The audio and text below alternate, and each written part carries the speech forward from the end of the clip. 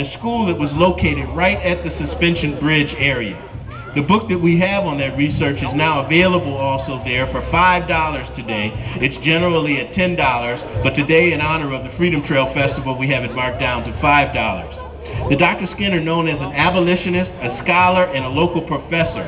A local professor, Dr. Boston, helped us in retrieving a lot of that data, and we are still continuing to find data, not only to the descendants that had attended that school, but also things that played a role in the Underground Railroad, such as coding and deciphering of information of how they would travel along the Underground Railroad. Now, our museum staff's conducting a lot more research.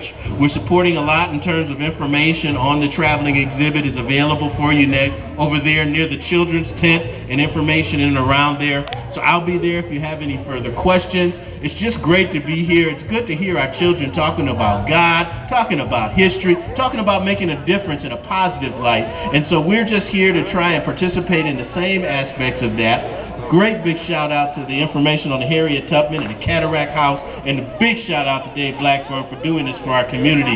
So I just want to say God bless you all. If you have any questions, we'll be located over there at the museum exhibit, and uh, have a wonderful day today.